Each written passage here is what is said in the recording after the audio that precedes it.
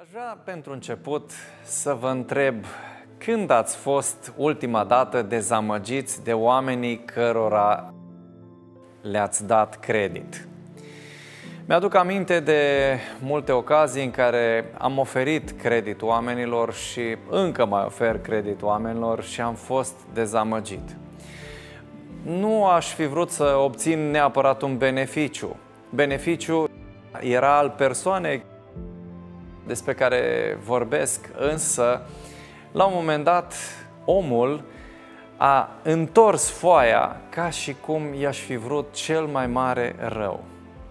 Cred că, până la urmă, mântuirea este cea mai mare pierdere pentru Dumnezeu. Din punct de vedere a investiției, a resurselor cheltuite pentru mântuirea noastră, mântuirea este o pierdere pentru Dumnezeu.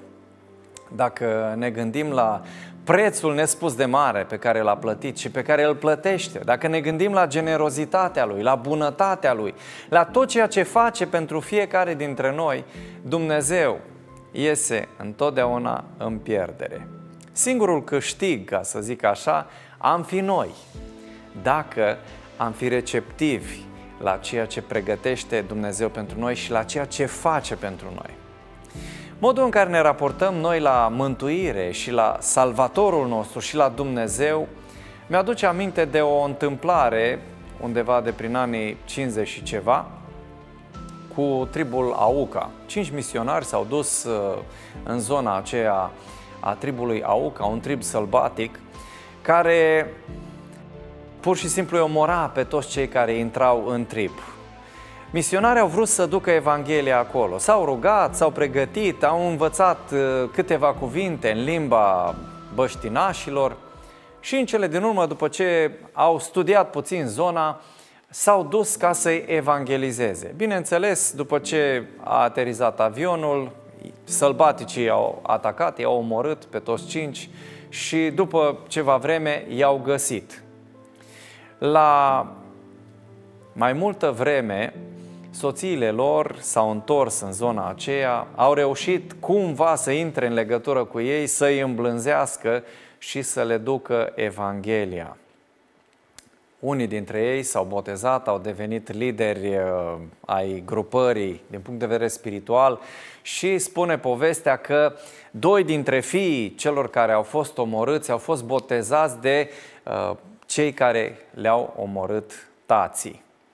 Da, este o poveste frumoasă, asta este cu happy end. Este o poveste care arată că omul, de regulă, privește cu reticență, chiar cu repulsie, cu revoltă, darul acesta lui Dumnezeu, mântuirea și tot ceea ce face Dumnezeu pentru binele omului. Însă, dacă e să ne gândim la momentul în care Isus Hristos a venit în lumea noastră, să știți că mie îmi lasă un gust amar și destul de trist. Pentru că în momentul în care mă uit la venirea Mântuitorului în lume, un eveniment care are de-a face cu mântuirea întregei omeniri, cel mai important act din univers prin care urma ca să fie zdrobit capul șarpelui, momentul în care Dumnezeu aducea planul de mântuire la îndeplinire, N-au fost prea mulți ca să-l aplaude, n-au fost prea mulți interesați, n-au fost prea mulți care să-și dorească să vină să-l vadă pe Mântuitorul nou născut, n-au fost prea mulți ca să fie entuziasmați de ceea ce face Dumnezeu pentru ei. Ba din potrivă, au fost indiferenți, au fost înverșunați și mâniați de moarte. Dacă ne gândim la Irod și la cei care erau pe lângă el, au dorit chiar să-l omoare și au făcut lucrul acesta cu o așa încrâncenare și cu așa înverșunare, încât a dat poruncă să fie omorâți toți pruncii de la 2 ani în jos, de parte bărbătească, ca nu cumva Hristos să scape cu viață. Poate că ne uităm acum, citim Sfânta Scriptură și zicem, o, stai că noi ne-am mai civilizat. Pentru noi lucrurile stau altfel. Noi suntem creștini, avem 11.000 de biserici, avem cruci, avem icoane, avem, avem uh, scripturi, avem tot felul de ritualuri, avem atâtea slujbe, avem atâtea doctrine, avem atâta teologie. Cum poți să spui că lucrurile nu stau diferit astăzi? Însă, în esență, și astăzi pentru Dumnezeu, mântuirea, în cazul celor mai mulți, este o mare pierdere, o mare risipă de har, o mare risipă de energie și de resurse pentru nimic. Și de ce? Pentru că ne iubește. N-am să înțeleg niciodată risipa aceasta a lui Dumnezeu și nici tu n-ai să o înțelegi. În momentul în care El dă totul, noi ne arătăm toată indiferența, ura, și nemulțumirea față de darul pe care Dumnezeu îl pune la dispoziția noastră.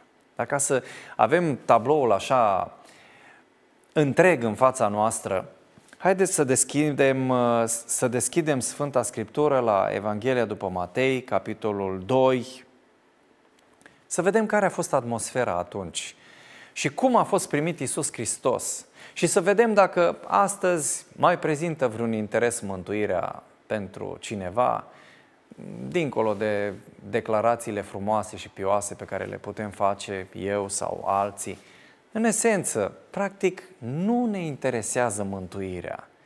Ne uh, indignează, chiar ne revoltă faptul că Dumnezeu vrea ca să fim mântuiți. Dincolo de declarațiile frumoase și de atitudinile astea pioase, fariseice pe care le afișăm, Realitatea este că majoritatea nu vor să fie mântuiți. Realitatea este că majorității nu-i pasă de Hristos și nu vrea să aibă de-a face cu Hristos. În lumea creștină vorbim. Și majoritatea nu vrea să aibă de-a face cu acest Mântuitor. Nu vrea să-L vadă, nu vrea să audă de El, nu vrea să aibă vreo influență sau vreun impact în viața lor. După ce s-a născut Isus în Betleemul din Iudeea, în zilele împăratului Irod, Iată că au venit niște magi din răsărit la Ierusalim. Observați că nu a apărut în nicio știre locală, nu a apărut în nicio în, nicio, în niciun cerc din ăsta teologic discuții și frământări cu privire la venirea lui Mesia. Nu! Toți erau niște ignoranți. Toți. Irod, teologii din vremea aceea, Oamenii simpli, da, suntem sub talpa romanilor, cresc impozitele, crește inflația, crește foametea, crește criza. Da, ce mai batem noi capul cu... A, ar fi bine să vină Mesia, să ne salveze de toate astea, dar în rest, mântuire, chestii din astea cu cerul, cu veșnicia, nu ne interesează. Și asta este realitatea și astăzi. Dacă ar veni Dumnezeu cu tiruri de ajutoare sau cu anumite servicii sociale, poate că am mai ciulit puțin urechile. Însă, dacă e să vorbim de mântuire, hai să fim serioși. Cât sunt interesați? După ce s-a născut Isus în Betleemul din Iudeea, în zilele împăratului Irod, iată că au venit niște mași din răsărit la Ierusalim, străinii. De regulă, fiii răsăritului care apar în Sfânta Scriptură sunt asociați cu răzvrătiții. Cain, primul răzvrătit împotriva lui Dumnezeu, spune cuvântul că s-a dus spre răsărit ca să fie zicea el, departe de fața lui Dumnezeu. Să nu aibă de-a face cu Dumnezeu. După ce Dumnezeu l-a blestemat să trăiască, el a zis, Doamne, mai bine să mă omor. Nu, zice, nu te omor, te blestem să trăiești. Trăiește în continuare și trăiește cu povara aceasta a răzvrătirii în sufletul tău. Și spune cuvântul că s-a dus spre răsărit. Și majoritatea celor care s-au răzvrătit împotriva lui Dumnezeu s-au dus spre răsărit. Și culmea, ca o ironie, spune cuvântul lui Dumnezeu și chiar Hristos că vor veni mulți de la răsărit și de la apus și vor sta la masă cu Avram, Isaac și Iacov în împărăția cerurilor, iar fii împărăției vor fi dați afară acolo unde este plânsul și scrâșnirea dinților. Dacă ne uităm la tabloul real al uh, evenimentului de atunci. Poporul, în mare parte, cu excepția păstorilor și a câtorva din popor, un Simeon, Ana, da, puțin, foarte puțin în comparație cu majoritatea, pe ceilalți nu i-a interesat absolut nimic. Și au venit magii din răsărit, de la sute sau mii de kilometri, ca să-L vadă pe Iisus Hristos, în timp ce ceilalți, mântuire, Iisus, a, da, noi suntem poporul ales, triumfalismul. Noi avem scripturile, noi știm texte pe din afară, noi știm teologie. Și abia așteptăm ca Dumnezeu să arate lucrul acesta că suntem superiori. Dar în rest, niciun interes pentru Mesia, pentru mântuire. Și au venit magii ăștia din răsărit ca să-i deranjeze.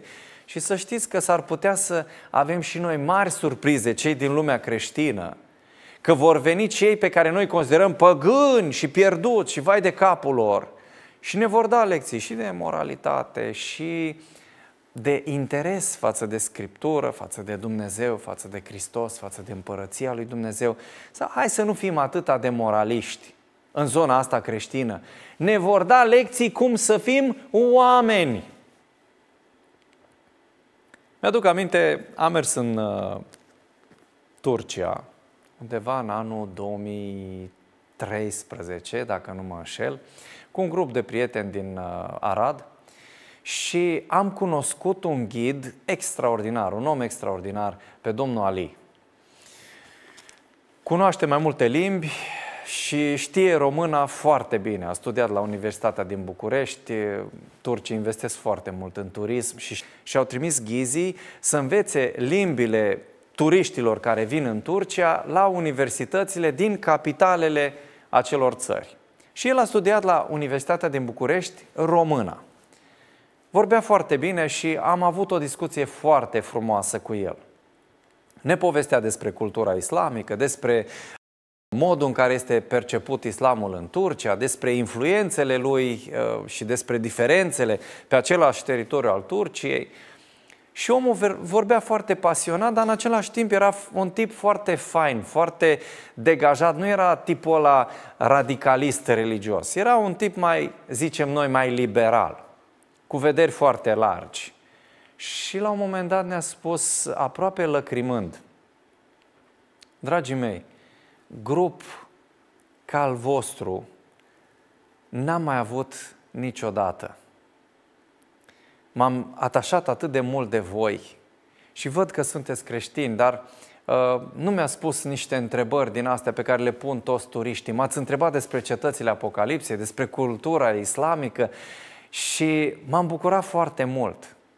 Și la sfârșit vreau să vă fac o dedicație din Cuvântul lui Dumnezeu. Și ne-a citat el niște versete din epistolele lui Pavel, din memorie, și a spus, am acasă Biblia în limba română în patru traduceri. Și am mai spus ceva înainte să ne despărțim. Eu cred că întâlnirea noastră nu este întâmplătoare, dragilor. Eu cred că o să ne mai vedem cândva, undeva. Și știți voi unde. Și în timpul acela, lacrimile apăreau în colțul ochilor. Asta și m-am întrebat. Oare oamenii ăștia să fie pierduți? Sunt atâția oameni care n-au auzit de Hristos în India, în China, în țările islamice și oamenii ăștia care au o conduită morală și o, o direcție foarte clară în viață sunt oameni ăștia să fie pierduți. De ce? Pentru că n-au auzit de Hristos. Mi se pare atât de, atât de jignitor lucrul acesta și zdrobitor. În timp ce creștinii, aleșii lui Dumnezeu, așa credem noi, singurii care poartă standardul și lumina, îi doare în cot de Evanghelie, de predicare, de Hristos, așa cum i-a durut în cot și pe evrei atunci, dar în schimb pretențiile erau până la cer și înapoi. Vin ăștia care nu reprezintă nimic pentru noi. Nu ne interesează de ei, nici să le ducem Evanghelia, nici pur și simplu îi privim ca pe niște neoameni de cele mai multe ori. Și cu un aer de aroganță considerăm că a, noi suntem mai buni decât ei. Și vin oamenii aceștia și tulbură pacea aceea a indiferenței și a ignoranței. Și au întrebat, unde este împăratul de curând născut al iudeilor? Vrem să vedem. Vrem să ajungem acolo. Am citit în Scripturi. Și să știți că sunt oameni necreștini, mai creștini decât creștini, cu valori mai bune decât creștini, pe care noi îi desconsiderăm și credem că numai noi o să intrăm pe poarta raiului. Nimic mai fals decât lucrul acesta. Spunea Sfântul Apostol Pavel că sunt oameni care au legea lui Dumnezeu scrisă în cugetul lor. Și cred că pe aceștia Dumnezeu îi va judeca după binele sau răul pe care l-au făcut, potrivit cu cunoștința lor de Dumnezeu.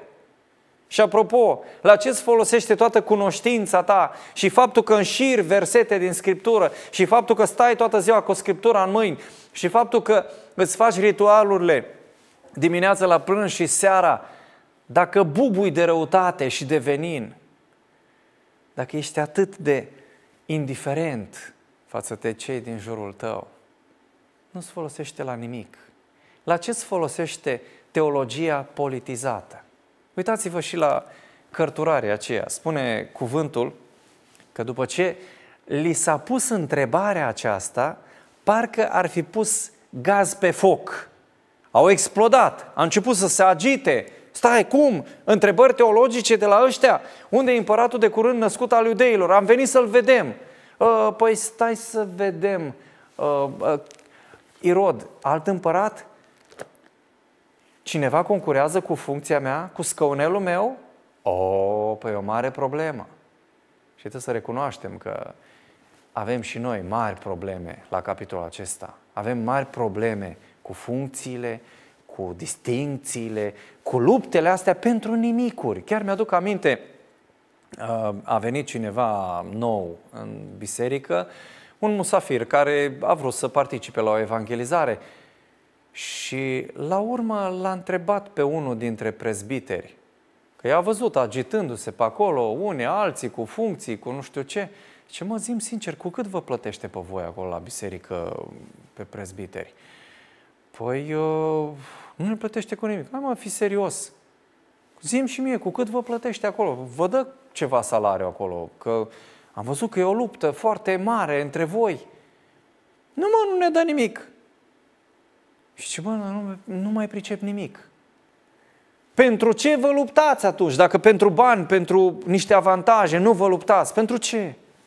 Știți pentru ce? Biserica a ajuns pentru foarte mulți singurul loc de validare. Da, au zis bine. Biserica a ajuns pentru cei mai mulți singurul loc de validare. Și dacă în societate nimeni nu te bagă în seamă și nu dă doi bani pe tine, păi măcar acolo să dai și tu din coate să fii și tu, un prezbiteraș, un diacon, un pastor, un ce-oi fi acolo. Unii au aspirații mai înalte, tot joase, dar o puțin mai înalte să ajungă din ce în ce mai sus, ca funcție, dar nu ca nivel spiritual sau să, să crească, să performeze în ceva. Și în momentul ăla zice, omul, mă, chiar nu vă înțeleg. Nu mai pricep nimic. Parcă n-ați fi normal la cap. Și într-adevăr, mare dreptate avea omul. Parcă oamenii sau creștinii nu sunt normal la cap. Sunt preocupați de niște nimicuri atât de mari, încât stai și te întrebi, mă, da zdraven la cap? Și vin oamenii ăștia din altă parte, cu preocupări serioase și pun o întrebare, mă, unde este Mesia? Unde este cel care trebuie să se nască, Mântuitorul? M-aș fi așteptat să primesc această întrebare de la cărturari și de la farisei, de la cei din poporul lui Israel. Majoritatea, nani, nani indiferență, lupte, politică, scaune, funcții, cam atât. Când a auzit împăratul Irod acest lucru, s-a tulburat mult. Și tot Ierusalimul s-a tulburat împreună cu el. Și întrebarea mea este, de ce? Și uitându-mă la acest tablou jalnic, pot să spun încă o dată, clar și apăsat, că mântuirea pentru Dumnezeu este o mare pierdere. Să vii să investești har, să-ți dai fiul să moară, să vină într-o lume de mizerie și de păcat, să lase slava, să lase cerul, să lase tronul, să lase adorarea îngerilor, să lase lumea aceea minunată, să vină mocir la aceasta și să dea de niște indiferenți, infatuați și nerecunoscători și înverșunați și porniți împotriva lui Dumnezeu. Păi ziceți dumneavoastră dacă asta nu este pierdere. Stau să mă pun puțin în locul lui Dumnezeu. N-am cum să fac lucrul ăsta, dar vorbesc și eu prin metoda aceasta a gândirii absurde. Să investești atât de mult și să primești nu nimic înapoi, ci ură, reproșuri și o furie de moarte împotriva fiului tău care a venit să salveze lumea. Pur și simplu nu vezi nicio noimă, niciun rost la investiția aceasta. Când a auzit împăratul Irod acest lucru, s-a tulburat mult. De ce? Pentru că era mai importantă funcția și scaunul decât Hristos. Atenție! Și cred că dacă Hristos ar veni în carne și oase astăzi, i-ar deranja și ne-ar deranja în toate bisericile și în toate sinagogile și în toate templele și în toate locașurile de închinare, ar fi mare deranj, pentru că ar dărâma nimicurile pe care le-am poleit atât de frumos și pe care ne-am cocoțat crezând că suntem cineva. Cum să vină acum Hristos să-mi ia funcția mie? Păi e o mare problemă. Eu cine mai sunt? Da, nimeni, chiar nimeni. Și apoi, după Irod, spune, tot Ierusalimul s-a tulburat împreună cu el. De ce? Pentru că era o veste bună. Vine Mântuitorul. Nu. Cum? Să vină Mântuitorul? Să nu mai avem noi controlul, să nu mai putem noi să îi manipulăm pe oameni, să-i ținem sub oblăduirea noastră tâmpă. Nu se poate așa ceva. A adunat pe toți preoții, cei mai de seamă, și pe cărturarii norodului și a căutat să afle de la ei unde trebuia să se nască Hristosul. Și ăștia erau tobă de carte, da, credință zero. Credeți că astăzi este altfel? Tobă de carte și credință zero.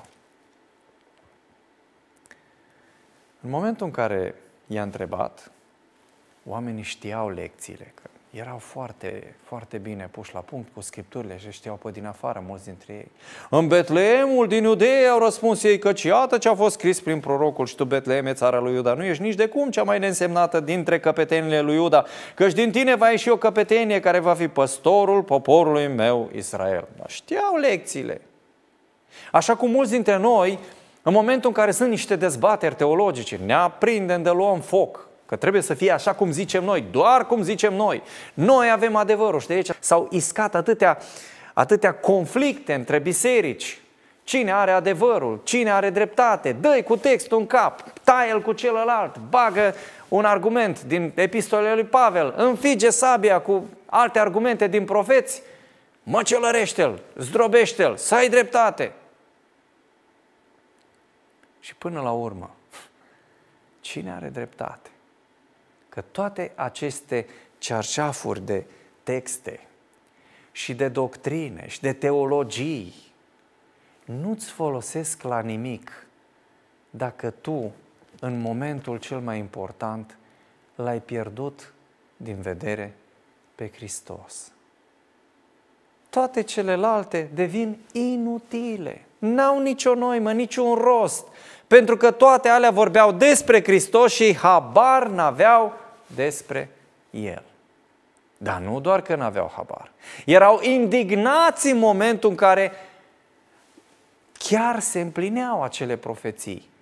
Dar chiar așa de repede să vină? Dar chiar așa, acum, în momentul ăsta, când noi suntem pe val, când noi avem atâta popularitate, nu, nu, nu, nu. O aruncăm așa puțin mai departe venirea aceasta lui Mesia, pentru că deranjează. În Betleemul din Iudea au răspuns ei că iată ce a fost scris prin prorocul. Atunci Irod a chemat în ascuns pe magi și a aflat în tocmai de la ei vremea în care se arătase steaua. Apoi a trimis la Betleem și le-a zis, duceți-vă de cercetați cu deamănuntul despre prunc și când îl veți găsi, dați-mi și mie de știre ca să vin și eu să mă închin lui. Vulpi religioase și politice. De fapt, bine a zis Mântuitorul, spuneți vulpii acelea, mare vulpoi, mare șmecher. Și e plină lumea de vulpoi din ăștia care, vai, vai, Domnul, Domnul, rugăciunea, vai, nu, nu știu ce. Și când vine Hristos, oh, nu, stai un pic, hai că ne dăm și noi să vedem, a, ce, ce, ce ziceai, da, da, da, mai zi, mai zi un pic. Și când vine momentul oportun, pac, te-a lovit și te-a rezolvat. Din păcate, așa a devenit creștinismul. Așa a devenit creștinismul. O mulțime de oameni care rostesc pe bandă versete și teologii și argumente și doctrine. Dar când este vorba de omenie, de iubire, de caracter, cădem și eșuăm lamentabil. Duceți-vă de cercetați cu deamănuntul cât de pervers era, cât de, cât de șiret. Și să-mi spuneți că vin și eu să mă închin. Și de fapt, el avea în suflet în momentele acelea gânduri ucigașe. Cât de mulți nu se apropie de tine și astăzi, cu glas mieros, cu pacea Domnului, cu bine ați venit la biserică, cu un zâmbet fals, cu o strângere de mână. Și pur și simplu, dacă ar avea posibilitatea și cadru, te-ar mânca în dinți. Da, gândiți-vă la aspectul acesta, că nu vorbesc din stratosferă. Și nici nu să mă puteți contrazice, pentru că asta este realitatea. După ce au ascultat pe împăratul, magii au plecat. Și iată că steaua pe care o văzuseră în răsărit mergea înaintea lor, până ce a venit și s-a oprit deasupra locului unde era pruncul. În toată această înverșunare a celor aleși împotriva Mântuitorului care a venit să-i mântuiască, apare pe lângă împotrivirea aceasta și dezinteresul majorității, o ironie a lui Dumnezeu, prin care arată că își poate face lucrarea și cu nealeșii, și cu cei de la răsărit și de la apus, și cu cele mai umile unelte. Dacă cei aleși aruncă la o parte Evanghelia și vestea bună, dacă cei care au primit cuvântul și lumina lui Dumnezeu sunt dezinteresați, Dumnezeu lucrează prin magia aceea. Au venit din răsărit și au dat acele daruri materiale cu care familia Mântuitorului a putut să supraviețuiască atâta timp în Egipt, după ce au fugit de mânia lui Irod. Prin niște păstori, Dumnezeu a dus mai departe vestea în cetate, niște oameni pe care nu-i băga prea multă lume în seamă, proștii aia, analfabeții aia, stăteau și ei și citeau din Scriptură. Și nu aș vrea să înțelegeți că uh, idealizez sau uh, ridic la rang de virtute prostia sau incultura. Nu despre asta vorbim. Ci vorbim despre faptul că oamenii de atunci, chiar cei care erau foarte bine pregătiți teologic, nu l-au primit pe Hristos, în timp ce oamenii simpli din popor l-au primit. Au fost și cărturari care l-au primit, bineînțeles, dacă vorbim de Nicodim, un Iosif din Arimatea, dar puțini. Pentru că aroganța aceasta a omului care începe să știe câte ceva este foarte mare și începe să dea la o parte Evanghelia și pe Mântuitorul. Au intrat în casă, au văzut pruncul cu Maria, mama lui, și s-au aruncat cu fața la pământ și s-au închinat, apoi și-au deschis visteriile și au adus daruri, aur, tămâie și smirnă. Și spune versetul 10, un verset mai sus, când au văzut ei steaua, n-au mai putut de bucurie. M-aș fi bucurat să citesc acest verset în dreptul poporului lui Dumnezeu. Să fi spus, când au auzit ei întrebarea de la magi, și Rod și poporul n-au mai putut de bucurie.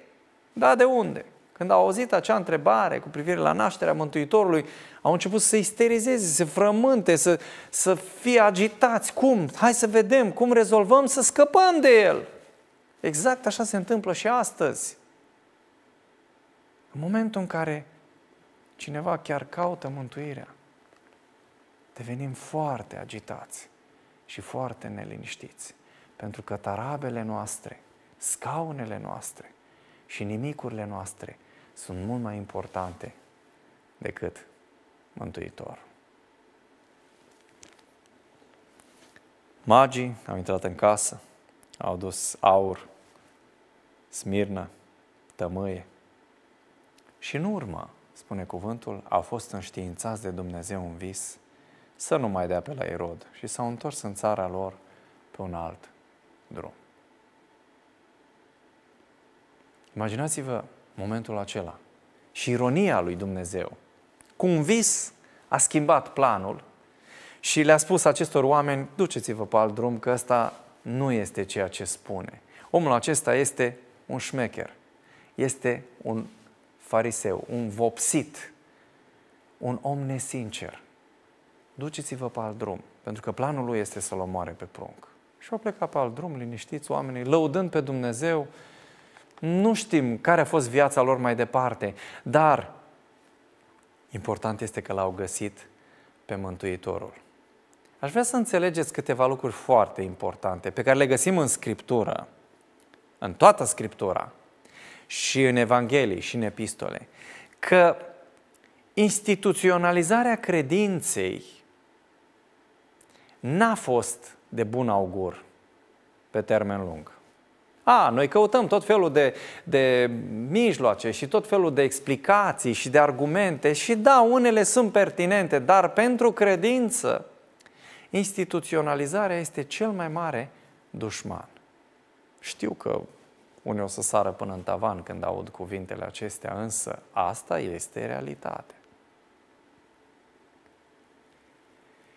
Dacă ne uităm în Sfânta Scriptură, Avram, Isaac, Iacov, profeții, oamenii lui Dumnezeu, au avut în primul rând credința în inimă.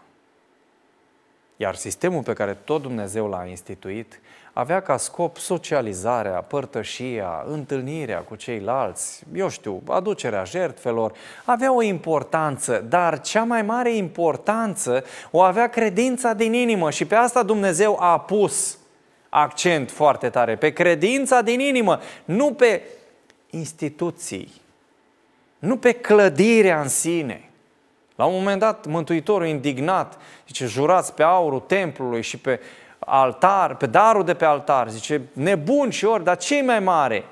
Darul de pe altar sau altarul? Aurul templului sau templul este mai mare? Da, sunt atât de multe lucruri în neregulă pe care Dumnezeu a vrut să le corecteze, să ajute pe oameni să vadă. Uitați-vă și în biserica primară. Accentul cădea pe părtășie, pe legătura cu Dumnezeu, mai mult decât pe toate lucrurile astea și apanajele omenești prin care oamenii au fost puși să meargă în linie, manipulați, controlați și mai mult decât atât, au fost făcut și sunt făcut să creadă că dacă se țin ca orbii de bâtă de anumite lucruri, îl au și pe Hristos în inimă. Nimic mai fals. Pentru că oamenii aceia l-au primit pe Hristos și s-au dus departe, în răsărit. Nu știm ce au făcut după aceea. Famenul etiopian, nu știm ce s-a întâmplat cu el. Naaman, după ce a fost scăldat în Iordan, l-a găsit pe Dumnezeu, s-a dus în țara lui și nu știm la ce biserică a mai mers mai departe. Ba chiar spune cuvântul să îl ierte profetul dacă se mai duce și el în casa lui Rimun, o casă idolatră a unui Dumnezeu păgân. Când se duce stăpânul acolo, mă plec și eu, că să duce și el. Zice, fii pe pace, du-te în liniște. Observați că Dumnezeu nu privește convertirea și trăirea vieții de credință cu etichete, cu cutiuțe, cu garduri, cu bariere, cu șabloane, cu lucruri fixe. Nu! Dumnezeu privește actul credinței mult mai deschis și este mult mai înțelegător cu privire la multe aspecte. Nu este atât de șablonat așa cum suntem noi. Și observați că toate aceste garduri și toate aceste limite pe care le-am pus între noi n-au făcut altceva decât să ne învrăjbească, să ne facă să ne urâm mai mult și să ne considerăm superiori față de ceilalți. Dar vreau să vă întreb acum pertinent și cât se poate de sincer, cu ce erau mai buni cei din poporul ales decât magii aceștia care au venit din răsărit? Spuneți dumneavoastră. Numai pentru faptul că i-a ales Dumnezeu? Cu ce erau mai buni? Cu ce sunt mai buni o mulțime de creștini care trimit bombe sfinte, sfințite, și din răsărit și din apus, că sunt creștini și unii și alții, decât cei care luptă tot în numele religiei lor. A, știm noi să găsim explicații la toate astea, dar până la urmă nu este nicio diferență. Nu este nicio diferență. Creștinii s-au dovedit de multe ori mai barbari decât păgânii. Și stau să mă întreb atunci, oare n-a făcut Dumnezeu cea mai proastă afacere cu mântuirea oferită unor oameni care nu-L recunosc, care nu sunt mulțumitori și care își bat joc și de Mântuitorul și de darul Lui. Mântuirea, când te uiți de la ceea ce a făcut Dumnezeu, înseamnă pentru el cea mai mare pierdere, cea mai proastă afacere. Însă, cu toate acestea, Dumnezeu își îndreaptă atenția spre cei care au o fărâmă de interes și vrea să salveze pe oricine dorește locul acesta. A plecat Isus în Egipt și a urmat măcelul. Țineți minte lucrul acesta. Poporul, biserica, organizația din care pleacă Hristos lasă în urmă o atmosferă demonică și un adevărat măcel. Oamenii se mănâncă în dinți unii pe alții. Poate că nu fizic, dar spiritual și psihologic, prin cuvinte, prin jigniri, lucrul ăsta se întâmplă. Când Hristos pleacă sau este alungat într-o biserică sau dintr-un grup de oameni care își spun creștini, acolo urmează măcelul. Și asta s-a întâmplat. Irod, condus de demoni, dă porunca să moară pruncii nevinovați. Am zice, mamă, ce canalie, ce, ce criminal, ce om fără scrupule.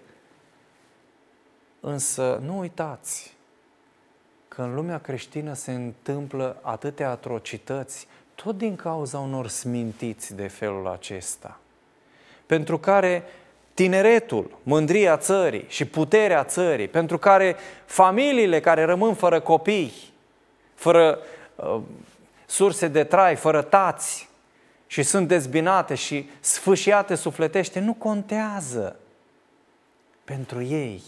Miza politică este mai importantă decât sufletele oamenilor și dacă mor prunci, nu contează.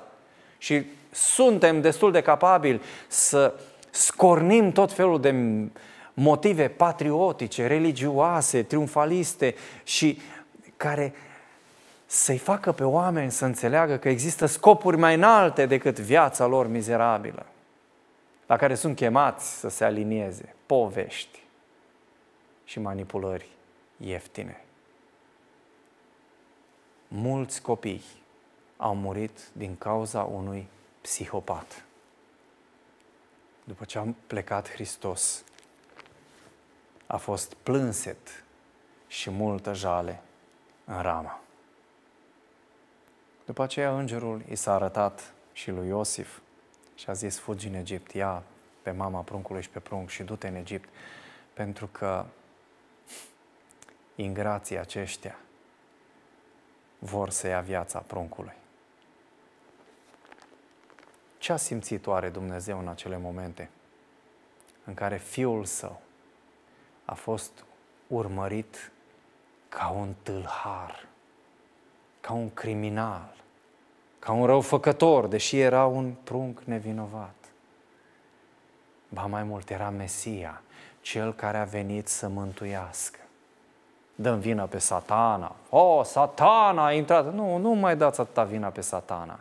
Că de multe ori suntem mai draci decât satana. Da, da, auziți bine.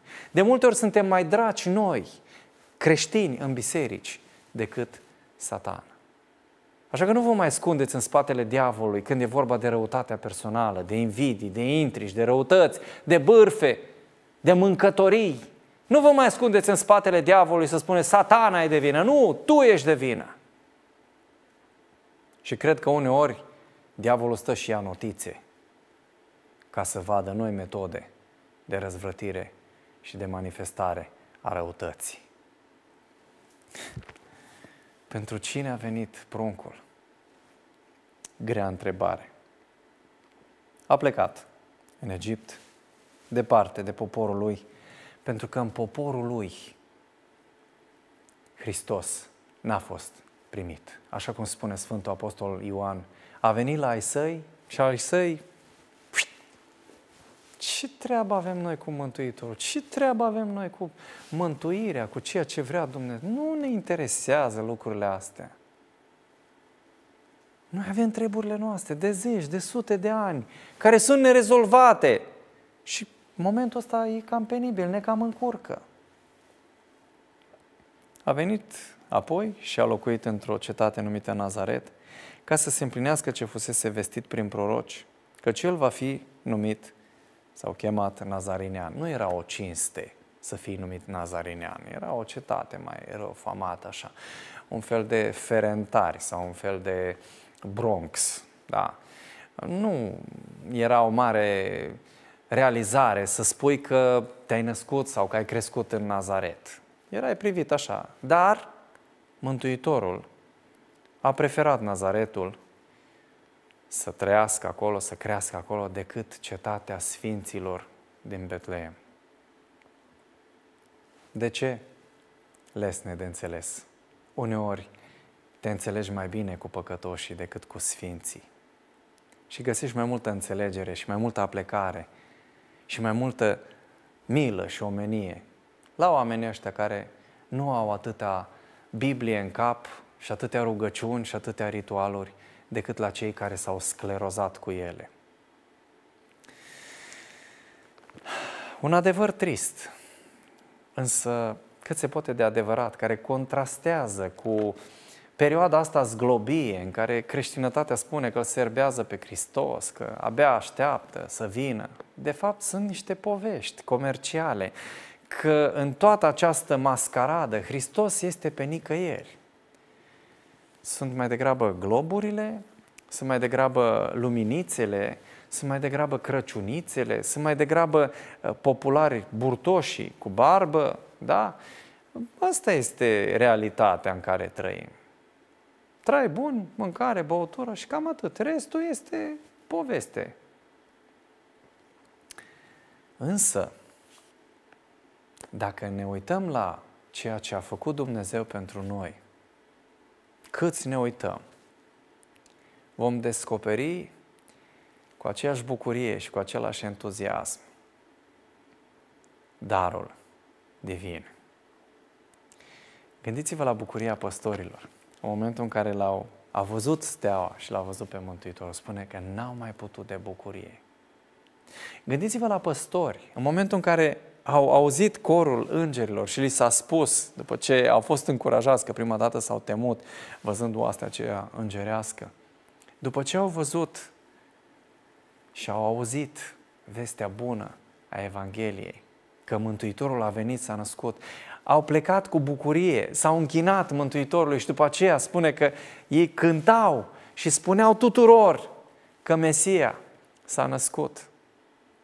Dacă te gândești la un Simeon, la Ana, la bucuria pe care au avut-o în suflet, că l-au întâlnit pe Mântuitorul, poți să îți încălzești și tu inima și poți să găsești și tu această bucurie pe care ți-o poate da venirea lui Hristos în inima ta.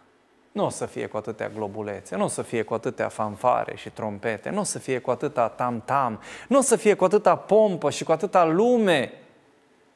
Însă important este că ți-ai găsit pacea sufletului, ți-ai găsit bucuria, ți-ai găsit sensul vieții, ți-ai găsit acea liniște pe care nimic și nimeni nu ți-o poate tulbura, pentru că ai primit în mână, în mâinile tale și în inima ta în sufletul tău darul divin care este Isus Hristos.